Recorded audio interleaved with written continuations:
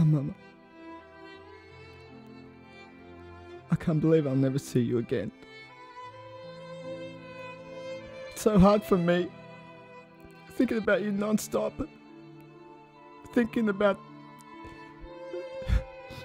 the relationship we had. I just miss it. I'm just trying to make sense of it all. Losing dad seven years ago, now you. Why?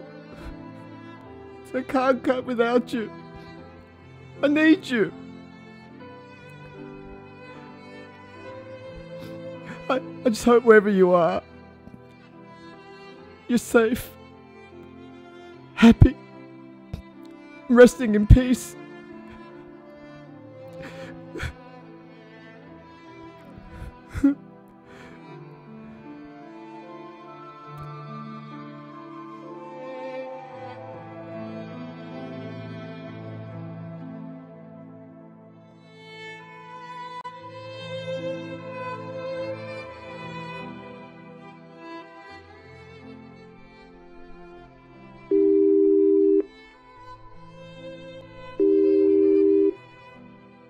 Hello? Mom?